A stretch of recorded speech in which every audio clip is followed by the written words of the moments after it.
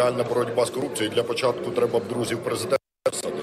А коли ті, хто займається корупцією, пропонують ініціативи про боротьбу з корупцією, ну це знаєте, як е, з відомої приказки, там як е, бджоли проти меду борються. Ми пропонуємо інший механізм боротьби з корупцією. Після президентських виборів я винесу на референдум у жовтні 2019 року разом із е, парламентськими виборами два питання на всеукраїнський референдум: скорочення чисельності депутатів Верховної Ради до 250 чоловік і за введення смертної кари за корупцію, коли крадуть на дорогах, коли крадуть на армії, коли крадуть у ветеранів, інвалідів, дітей сиріт, розстрілювати за це треба, а не малюють е, статті мертвонароджені кримінального кодексу, які не працюють. У нас є стаття про незаконне збагачення з 2014 року. П'ять років. Ні одну людину не посадили, ні одного корупціонера за п'ять років по цій статті не посадили. І далі продовжують дурити людей боротьбою з корупцією. Навпаки, ті, хто при владі займається корупцією, а всі ці так звані правоохоронні органи перетворились на інструменти політичної боротьби. Платять снайперу в набу 80 тисяч гривень зарплати платять. Снайпер на фронті 15 тисяч гривень. Набушники повинні мазами працювати, а не снайперів собі там позаводили. А такі зарплати треба бійцям на фронті дати. За що вони отримують мільярдні зарплати? Прокурори, судді кажуть, на вчителів, на лікарів немає грошей. На суддів, на прокурорів по півмільйона зарплати в місяць у них є гроші. Міняти все це треба. Не дурити народ імітації боротьби з корупцією.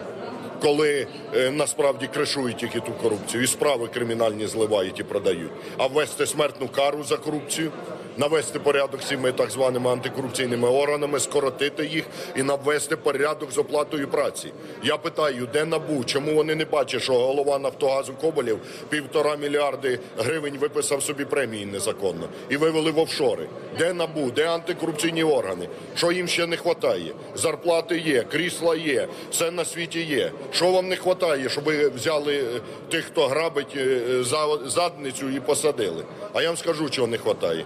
Совісті немає і відповідальності перед людьми. Тому всіх їх треба розігнати. І я це зроблю. Пане Олеже, напередодні е, поговорили в Верховній Раді і про тимчасову слідчу комісію щодо розкрадань в армії і дали доручення, ті вже яка існує, розібратися з матеріалами розслідувань, зокрема і щодо Укроборонпрому. Е, Чи плануєте ви і ваша фракція долучатися до е, цієї безпосередньо роботи, і чи очікуєте ви на результативні висновки? Коли журналістські розслідування про розкрадання в армії, ми вимагаємо одного е, про розслідування правоохоронних органів. Мільярди платники податків українці платять на їхнє утримання. Де результат роботи? Де ці реальні розслідування? Чи виходить, що розслідування е, журналістів більш ефективніше, ніж розслідування правоохоронців? А за що тоді українці цим правоохоронцям платять космічні гроші? Тому ми вимагаємо, щоб НАБУ, прокуратура, е, спецслужби розслідували оприлюднені журналістами факти корупції е, в е, оборонній сфері.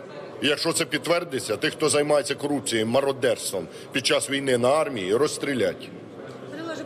Ще одне розслідування щодо е, фінансування батьківщини. Наскільки зараз прозорі взагалі фінансування партії, і чи можна е, ну знайти дійсно хто фінансує насправді, а не там різні касири, там ще якісь е, продавці?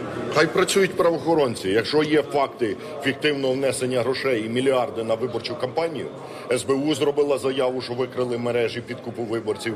МВД зробило заяву. Це показує, що дискредитується виборчий процес, що президентські вибори просто купують. Коли наша фракція, наша команда в грудні минулого року під час розгляду бюджету вимагали встановити мінімальну зарплату з нового року 6 тисяч гривень, мінімальну пенсію 3 тисячі гривень.